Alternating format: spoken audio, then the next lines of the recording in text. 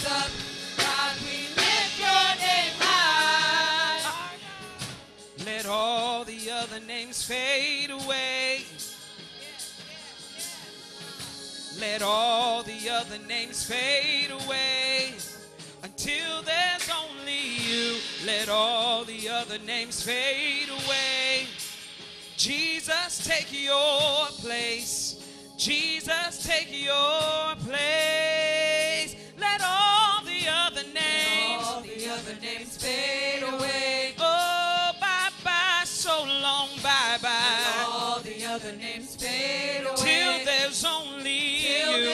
Let all the other names fade away. Jesus, take your Jesus, take your Jesus, take your Jesus, take your place. Let all the other names all the other names fade away. Let all the other names all the other names fade away. Till there's only you all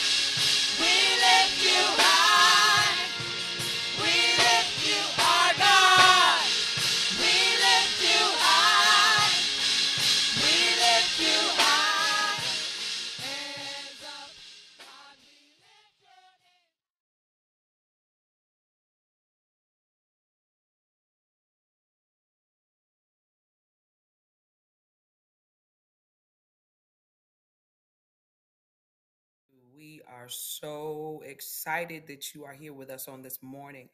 We are just ecstatic about the fact that we can lift up the name of Jesus. We can lift him up high.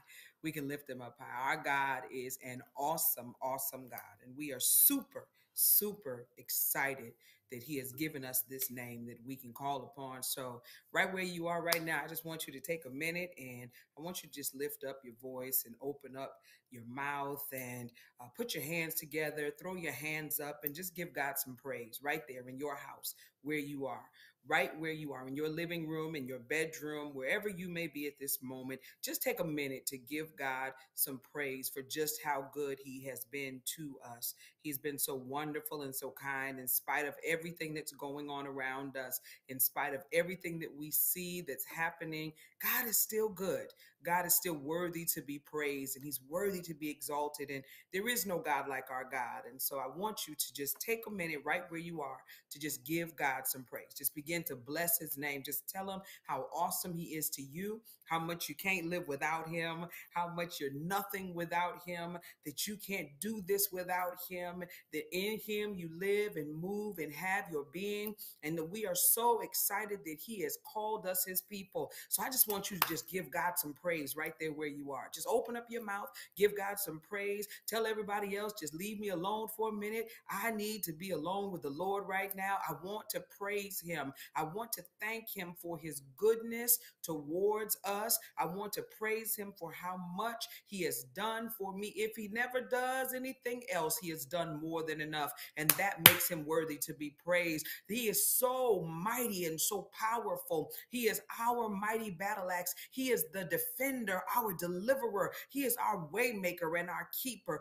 And I'm just so excited to be able to serve the true and living God. We could be somewhere else doing so many other things. We could be serving another God, but for some reason, He chose to call us out of darkness into this marvelous light. So I want you to just praise the name of the Lord. I want you to give God glory and give God honor for who He is to you on today, for all of the many blessings that He has bestowed upon you, everything that He's done. You're in your right mind, you have good health. Oh, come on, come on. Nobody is wheeling you around in a wheelchair. And if they are, we still thank God that He's allowing you to still get where you need to be. So we are super excited about that. Super excited that we have life and health and strength and the use activity of our limbs.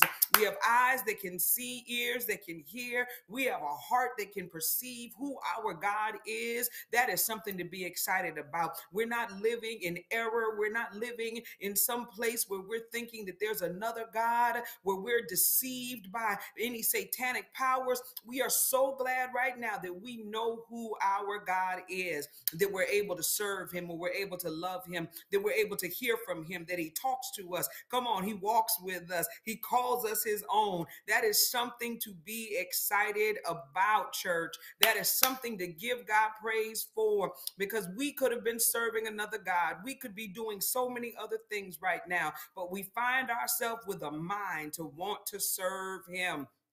So we give God praise today. We thank Him for another Sunday. We thank Him for another opportunity to come before His presence. That even if we're not in the building, we can still be in His presence. So we give God praise on today. We exalt Him above every other circumstance and every other situation. We exalt Him above everything that's going on around us. Everything fades away. Come on now, let all the other names fade away until there's only you. Sickness and and disease, depression, anxiety. Let all the other names fade away until there's only you. Oh, come on. Hopelessness and fear. We speak against it today because all those names fade away until there's only you, until our focus is on you and on nothing else. We're not worried about anything else. We're not worried about what man can do to us. We're not worried about what's going on around us because there's only you, our God, our God God. We lift you high, our God.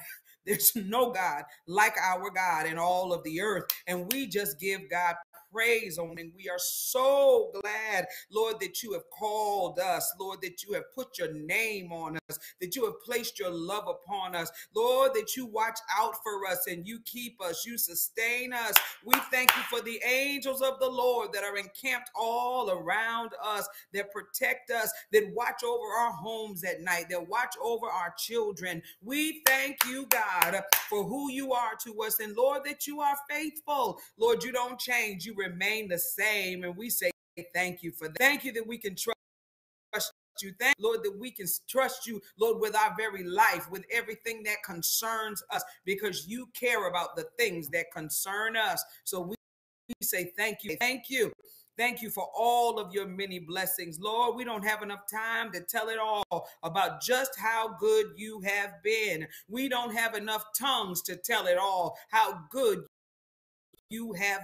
Thank you, Lord, with the one mouth that we have and the one tongue that we have, we will glorify your name. Oh God, we bless morning and say thank you for yet another time that we can come together.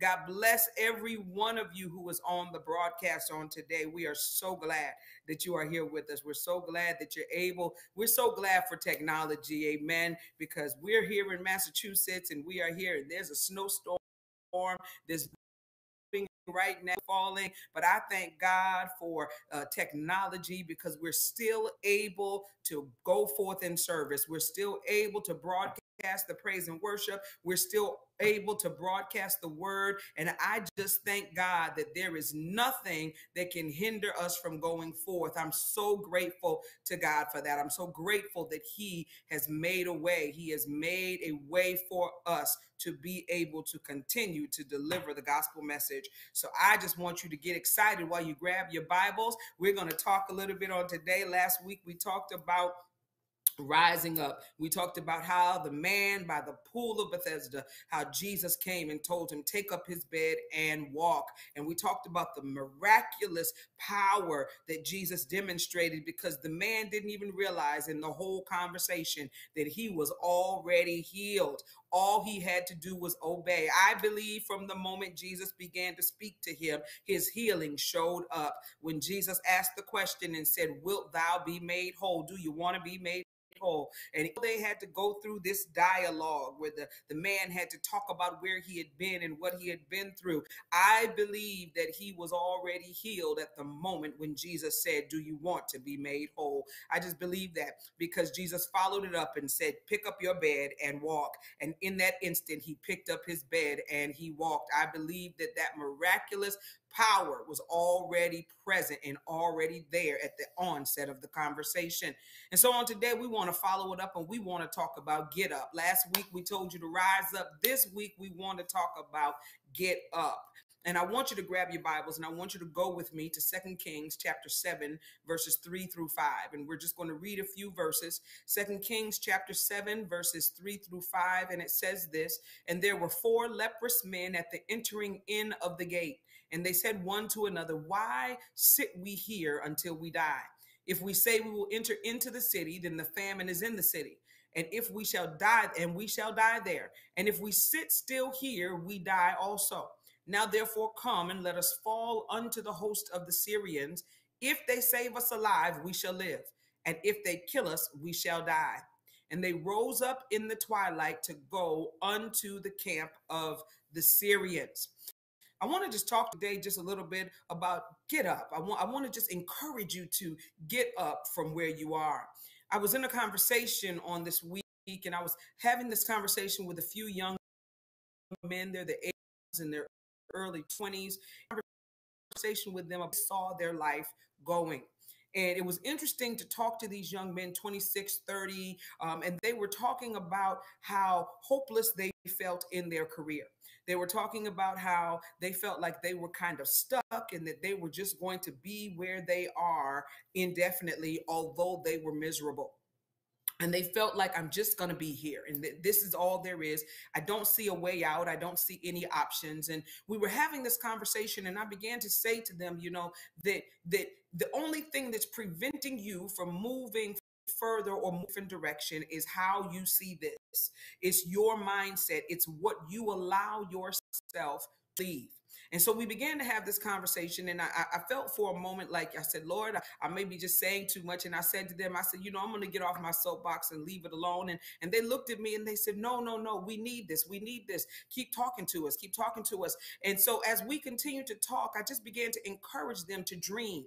I began to encourage them to hope. I began to encourage them to those ideas and thoughts that come to their mind. To I encourage them to begin to write them down. Write them down because they're coming to you for a reason. And the only thing that present prevents you from following the dream or following the vision is how you see yourself and how you see your circumstance. If you don't believe that you're able to make it, if you don't believe that you're smart enough or you don't believe that you have what it takes, then you'll continue to sit idly in this place and be miserable because you are not being fulfilled. You are not finding yourself moving in a direction that you feel is making you feel the best about yourself. And and uh, a lot of times you feel like you're just going to die in that circumstance and die in that situation. And we were having this deep conversation. It was a phenomenal conversation, and they were displaying and just talking about their level of dissatisfaction and how they felt like they were failing. And I'm looking at them like you all are some of the smartest young men that I think I have ever met. And they're saying we feel like we're failing at what we're doing.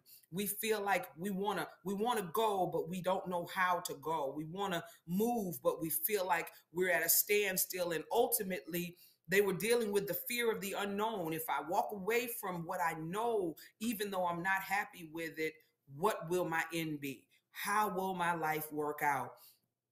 And as I began to think about and contemplate what they were talking about, I began to think about this particular scripture with the four lepers, because the four lepers found themselves sitting at a gate and they're looking at each other and they're saying, Why do we just sit here until we die? Why why are we just going to sit here? Why what is what is going to be the thing that we do and how do we move forward? What is this our reality?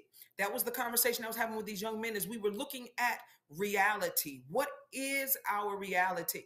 The lepers are sitting here and they find themselves saying, you know, this is what it is that we're leprous, we're unclean, we can't be around people.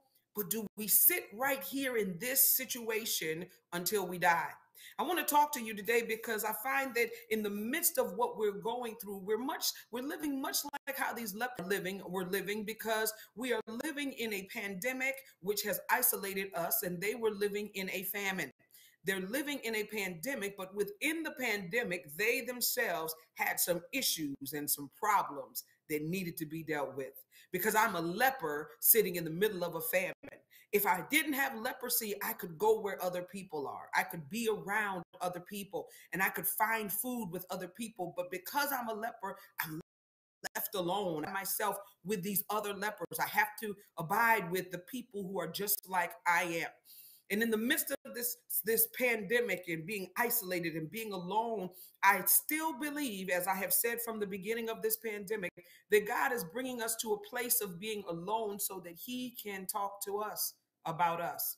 I believe that God has brought us to a place where He can get our attention because there are things that need to be addressed that we've been unable to address because we've been living life and we're running and we're going and we're working and we're we're doing all these things. Well everything has come to a standstill now. There's a famine in the land. There's a pandemic in the land. And everything is at a standstill. But why sit here until we die? Why allow ourselves to continue to suffer with what we've been going through in the midst of this pandemic when God has brought us to a place where our reality is in front of us. Come on, church. Our who we are is in front of us. We're alone with ourselves more than we have ever been if we would tell the truth. It's been almost a year and we are by ourselves, isolating with our core families. And if you're single, you're isolating by yourself. So why sit here in this reality until we die?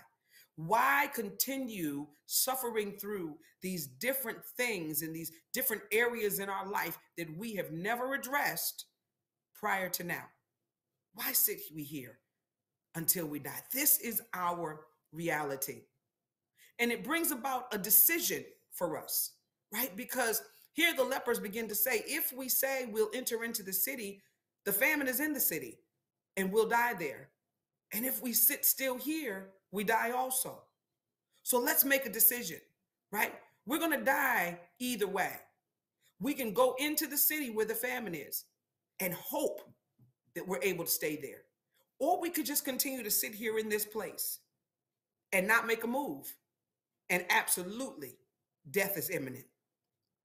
The question becomes while you are faced with this pandemic and you are by yourself and you are alone, the decision that you are going to make about your life, about your circumstance, about where you're going and what you're doing. It may not always be like this, but what will the outcome be for you once we come out of this?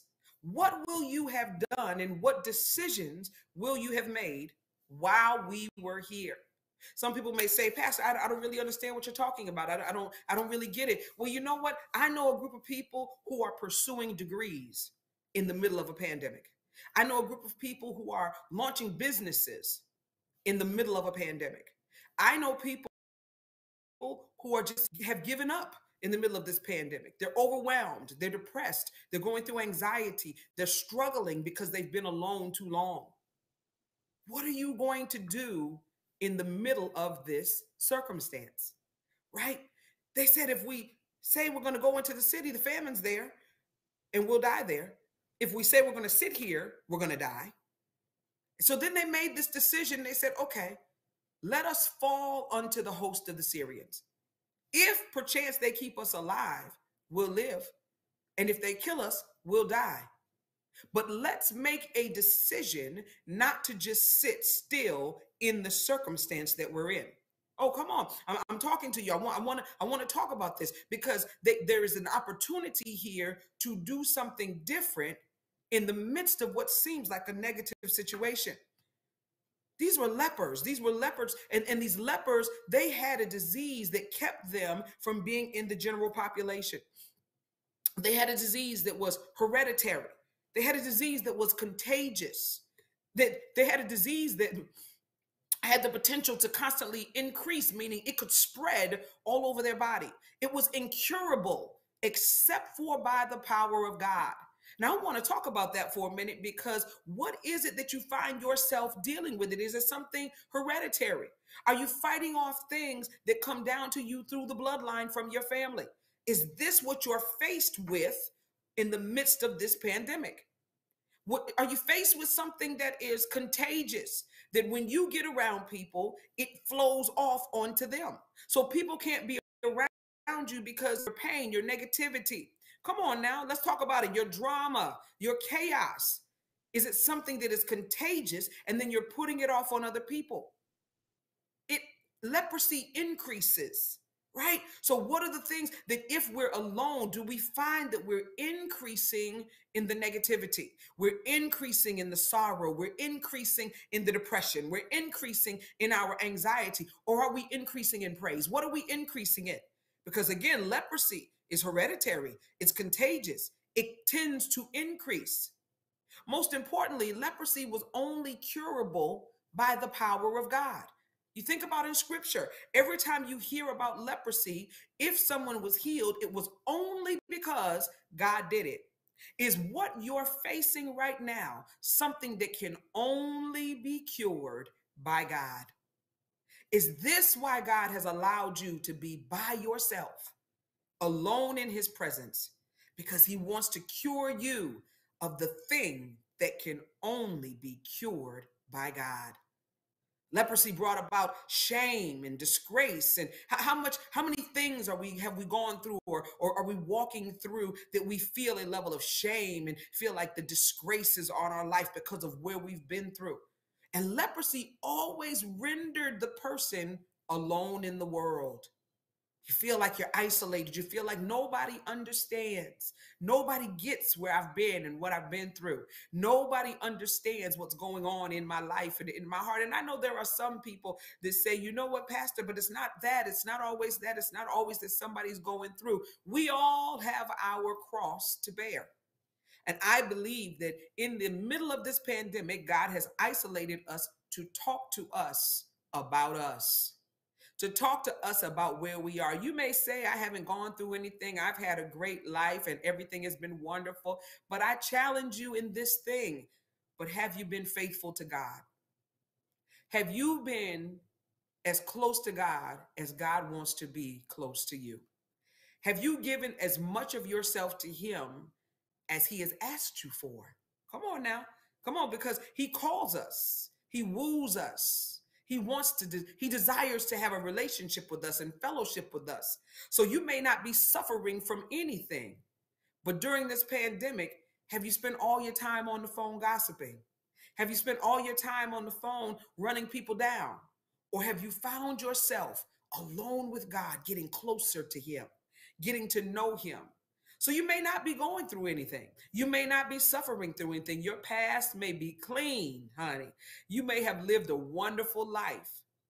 But have you been as close to God as He desires to be to you in the midst of everything that's going on? I believe that God is seeking and desiring this relationship with us. I believe that God is desiring to bring us in closer. He's desiring so many things during this pandemic to purify us, to purify the church, to cleanse the church, and in a way that only He can do it.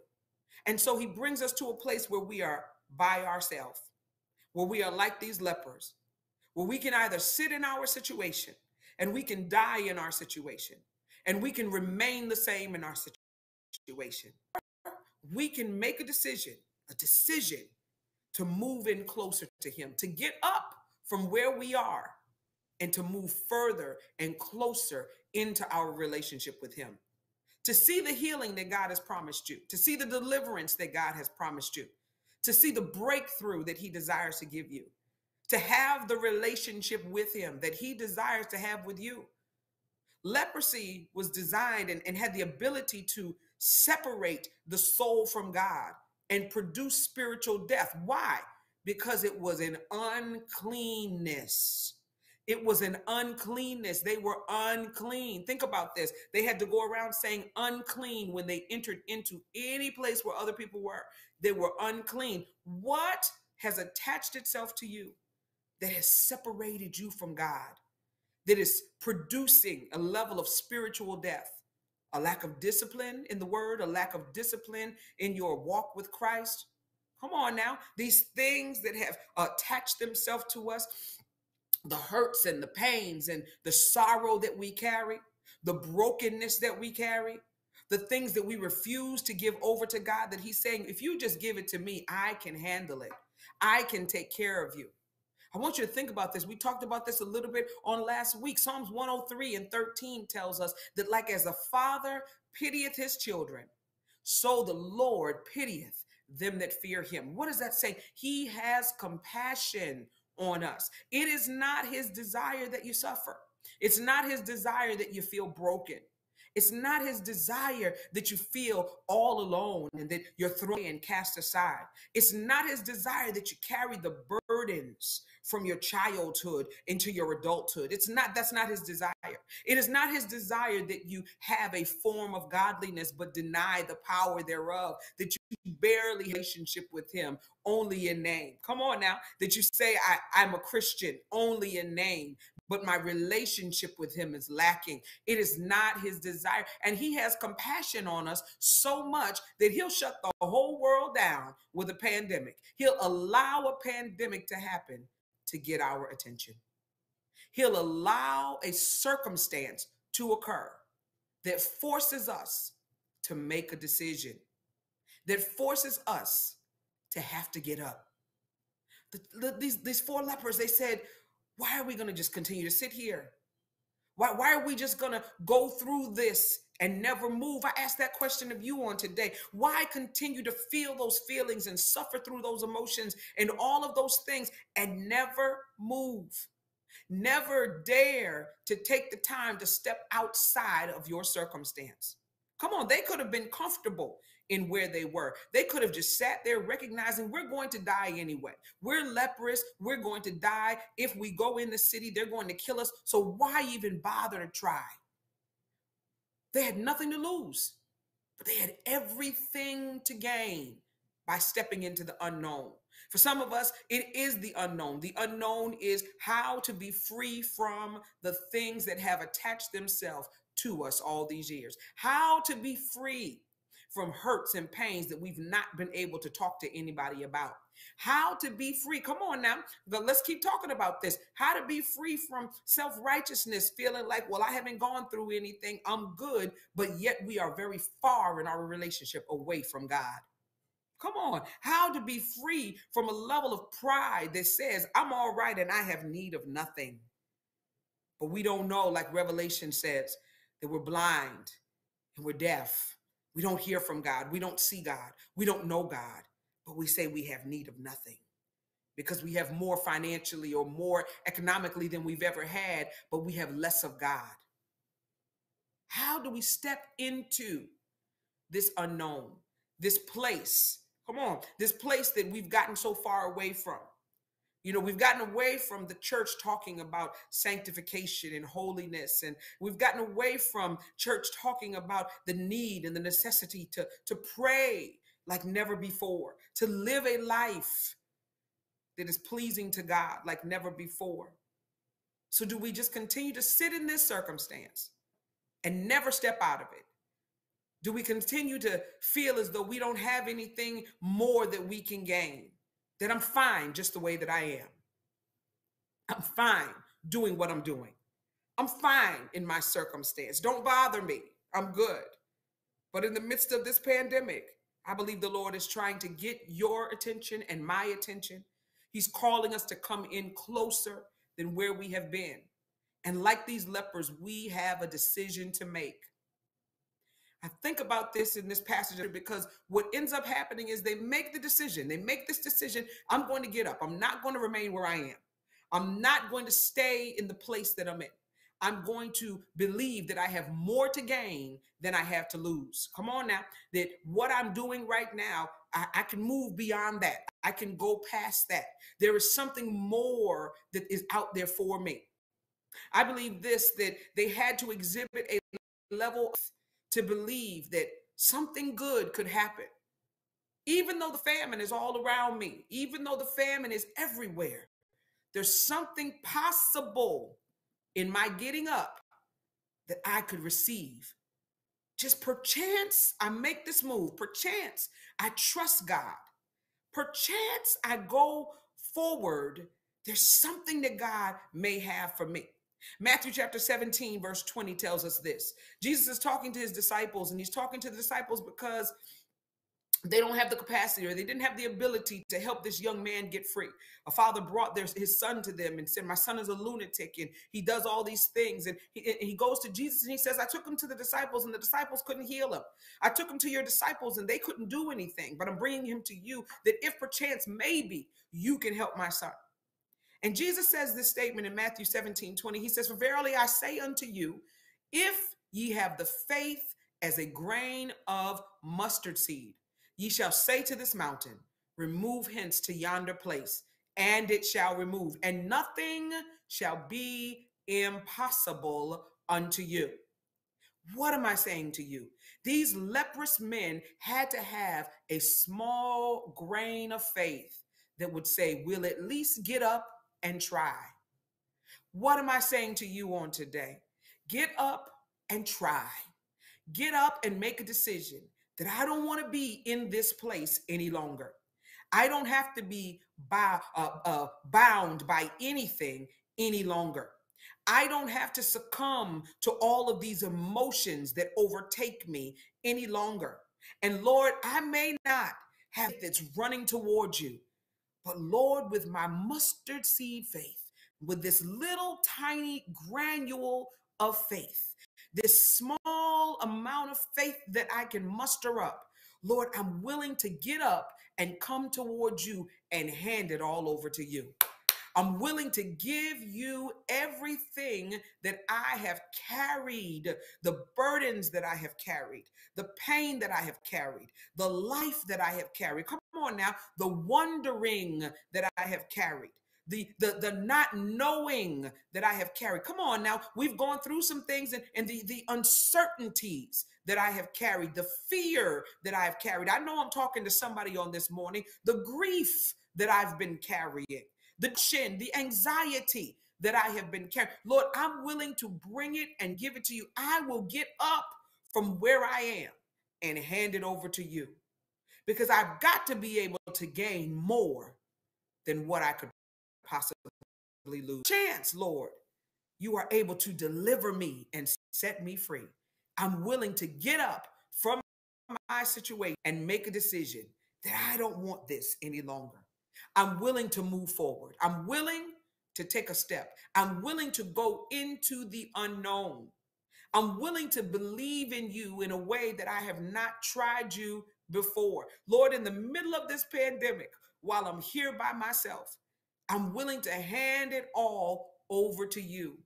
And Lord, I don't know what that looks like, and I don't know what that may mean for my life, but I'm willing to hand it over to you. Why should I sit here until I die?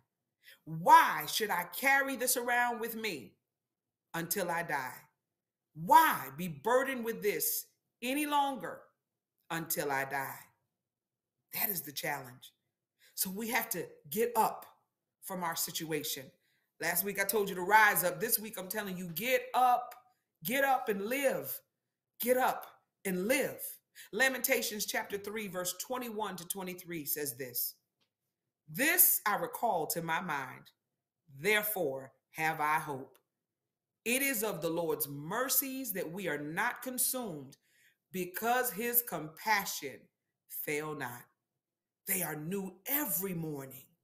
Great is thy faithfulness.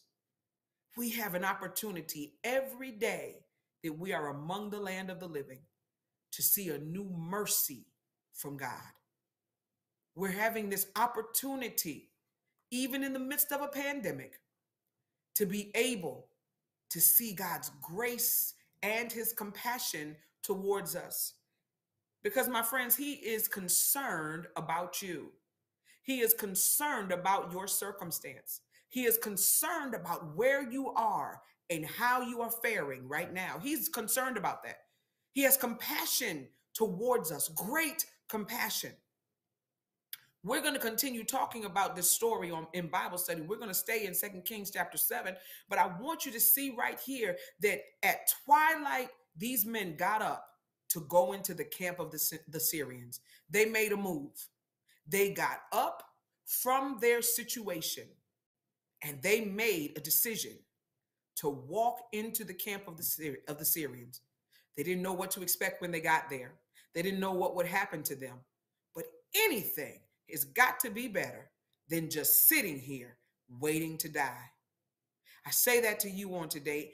Anything has got to be better than holding on to the things of the past, the demons of your past, the struggles of your past.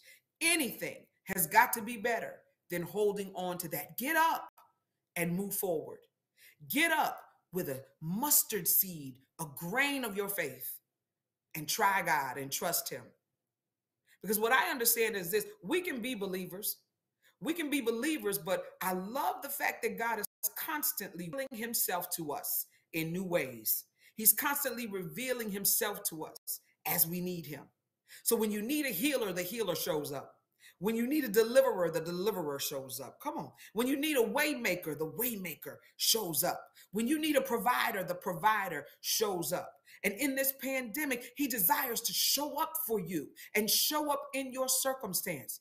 These lepers were in the midst of a famine in the land, but they were lepers sitting in this famine.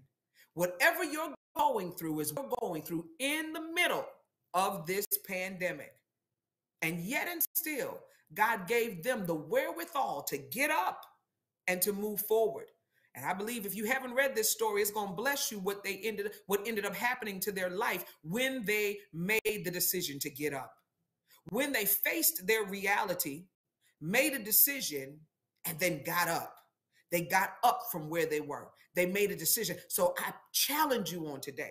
I encourage you on today. Don't sit in the middle of what you've been through and die there.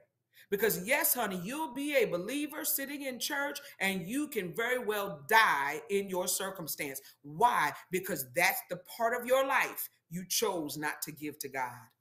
So you come to church and you stay burdened down. You come to church and you stay uh, in pain and hurt and wounded. You stay broken in certain areas. It doesn't mean that you don't love the Lord. It just means that's the area I haven't given over to God. So now I'm crippled in the house of God. I'm broken in the house of God. I'm lame in the house of God. Come on now. I'm walking around in the house of God blinded, unable to really see. Having a form of godliness, but denying the power thereof, having the form of it, but never really grabbing a hold to the power that is in God. The power that is in the name that you are called by, the power of the one that saved you and raised you from where you were, brought you out of darkness into this marvelous light, the power of the word of God that has the ability to break yokes and shackles off of your life. This is that moment in time. This is, I believe, a kairos moment for the body of Christ that God is calling us to come back closer to him. We veered off. We veered off church. The church we veered off. We we we've become commercial. We've we've done all these things that have changed the gospel and we've we've we've watered things down and where we used to want to be delivered, now we learn how to just live with sin and we live with rebellion and we live with disobedience to God. And I believe that God is grieved by this and is giving us an opportunity in the middle of this pandemic. He's saying, I need these lepers to get up, get up from where you are, get up. And as you get up and go, you'll be delivered. As you get up and you move forward, you'll be set free. As you get up, you'll come to understand that I'm moving behind the scenes in ways that you don't even know about. But I need you to get up. I need you to activate your faith. See, because they activated their faith when they got when they got up from where they were, where they could have died, they got up and made a decision. I'm going to go forward and I don't know what's ahead of me. When you activate your faith, God to move in your life. Faith moves God. Faith moves God. And when I sit in my circumstance and will not move, then what I'm saying is I don't have the faith enough to believe challenge you a mustard seed of faith, a grain of faith. Get up. And what I love about this, when the Lord was talking to me about this, like, Lord, you say move, and we're saying get up and go. And it's not a physical getting up, church, it is a spiritual and a mental getting up. Because, see, they had to think about this and make a decision in their mind. First, their mind had to tell them, we need to decide what we're going to do. Then, in their mind, they had to make a decision worth getting up long before they physically made the move. It had to happen internally. And so I say to you that what God wants to do is an internal work in your life. What God wants to do is something that can own in the unseen realm, where He wants to go in and cut away the things that are unusable and the things that have tied you up and held you down. Those things that have prevented you from moving forward and prevented you from being a whole person. And all of this happens on the inside. And then what you'll find is once it happens on the inside, outer man will be able to get up forward in life. It'll be able to move forward in the things of God and the promises of God and what God has for you once your mind has changed about your circumstance. So I challenge you on today to get up. If you're watching us and you're here with us for this broadcast and, and you're here, I challenge you to get up from where you are. I challenge you to make a decision to get up in your mind. I speak to your pure mind that you get up from where you are because God has so much more for you. God has something for you that you will never be able to attain if you sit in the midst of your circumstance. Yes, things have been hard. Yes, there's been some struggles. You're believing for your children to be saved. You're believing God to bring you out of so many things. But you know what? First, it starts in your mind. Get up and believe that God is able. Get up and believe that God can handle whatever your circumstance is. He's able to bring you out of it. So if you're here and you're watching this broadcast on today and you say, I don't know who this Jesus is talking about, I don't know who this Lord is that's able to bring me out of what I've been going through, I don't know who that is, then I want to introduce you to him on today. I want to introduce you to him and I want to invite you into the family of believers. I want to invite you to come in and become a part of the body of Christ. So I want to offer Christ to you and I, I want you to pray with me on today. I want you to just open up your heart right now. And I want you to open your mouth and repeat this after me Father, in need of a Savior, I ask you, come into my life. You died and you rose again on the third day, and that you are coming back to receive the church. Lord, I save me heal me, deliver me. I want to know what it is to be able to get up from where I am right now. I want to know what it feels like to be able to move forward in life and not be stuck. And I heard that you're able to do that for me. So I surrender my life to you on today and ask you to be Lord of my life forever. Thank you for saving me. Now, if you prayed that prayer with us on today, I want to encourage you, as I always do, to do this. I want you to reach out to a local church, out to this church, and I want you to say, you know what? I gave on February 7th. I'm asking you to teach me what it means to be filled with the precious gift of the Holy Ghost. And I also want to know when the doors open, can I be baptized? Can I know what it is to go down in the water and take the old man down and come up a new man? Be buried like Jesus Christ was and become a new creation. To align yourself with good Bible believing Bible study.